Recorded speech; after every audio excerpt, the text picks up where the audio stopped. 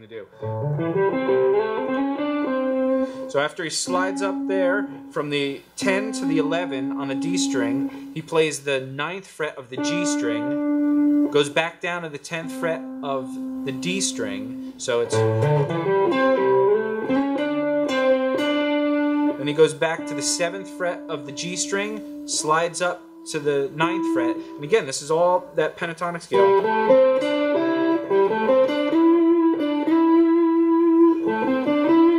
Based out of the second position of the pentatonic scale. Uh, then he moves up to that third position of the pentatonic scale. So you have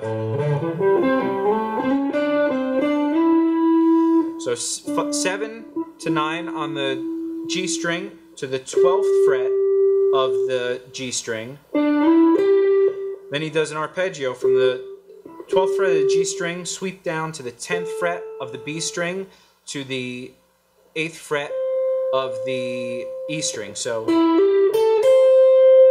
and that's just this minor arpeggio.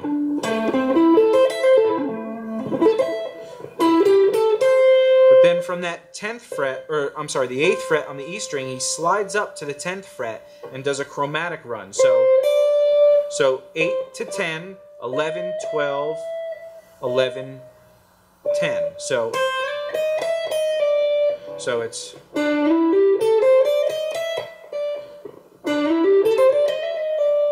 And I think he's hammering all those on.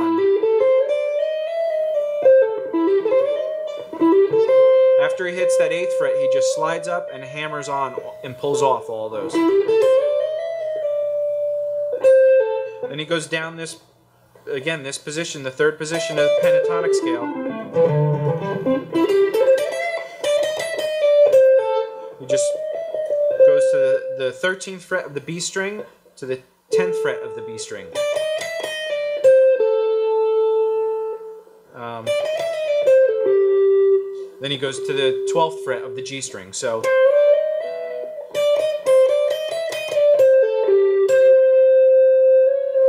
Then he slides up from, he hits the 12th fret of the G string, goes to the 13th fret of the uh, B string, slides up a half step, 14, back down to 13. So that's.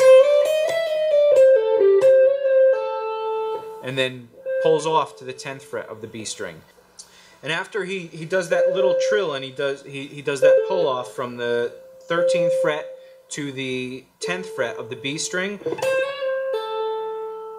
he goes down to the 12th fret, 11th fret of the uh, G string, and the next note sounds like I don't know, an open string to me. So.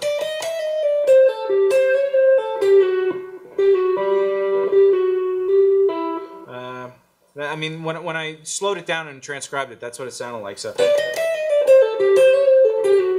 so it's 12, 11, op- pull open on the uh, G string to 12, 9 on the, uh, all on the G string. So 12, 11, open, 12, 9.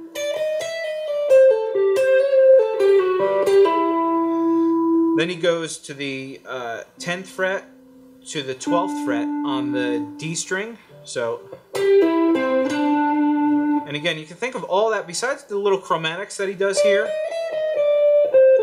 and then the little trill he does here. It's all A minor pentatonic. Um, and these the, these areas that he's doing this again, it's the the uh, minor third to the I'm, I'm sorry, the flat five, the fourth to the flat five to the fifth, and this is the minor third to the major third. Uh, um, and when he does that, the the tenth fret to the twelfth fret of the D string, this is where he starts introducing the arpeggio idea again. He goes from the nine on the G string, ten to the D string, and twelve on the A string. So that whole thing is. Um,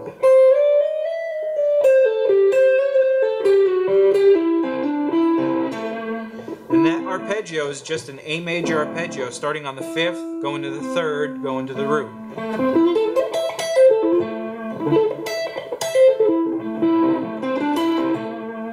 And then after that, he does. Uh,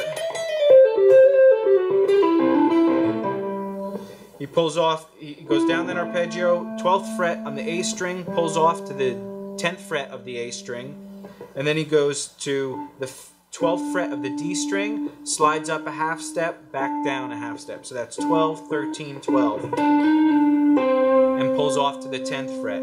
And again, that's just the 4th to the flat 5, the very bluesy thing.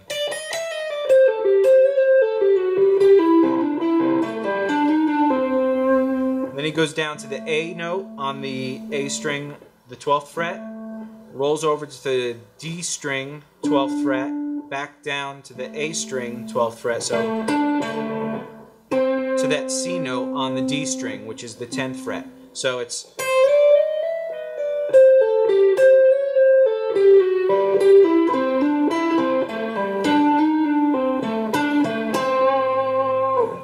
And I don't know if he does, but I'm doing the, a lot of chicken picking in the alternate notes instead of uh, and same thing with here when it does. I, I chicken pick that there. And I even chicken pick that too. So I use my middle finger on that first note, then I do an arpeggio down there. Um, anyway, so the whole thing, if I can do that up to speed, or not up to speed, but...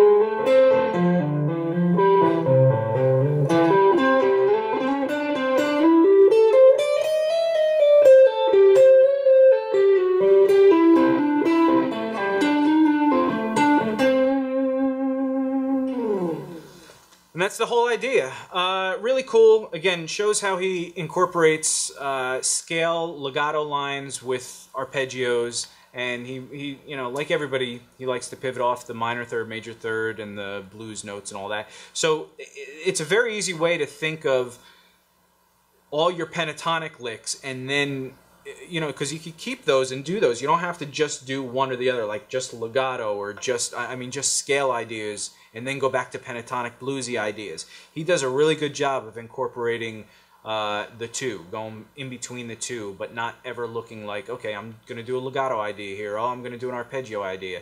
He throws in those those little trills, which are really essential blues things, minor third, major third, and the flat five and everything he throws that in between all the little legato things.